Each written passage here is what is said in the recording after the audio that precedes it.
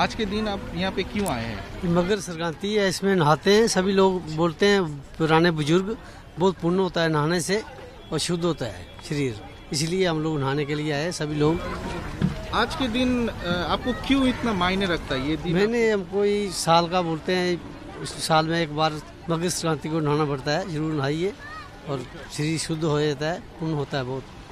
आज पूजन गंगा में आकर के तीर्थ करना चाहिए जल चढ़ाना चाहिए बाल बच्चा का सुमति देना चाहिए और इससे सब आगे संस्कार बढ़ेगा।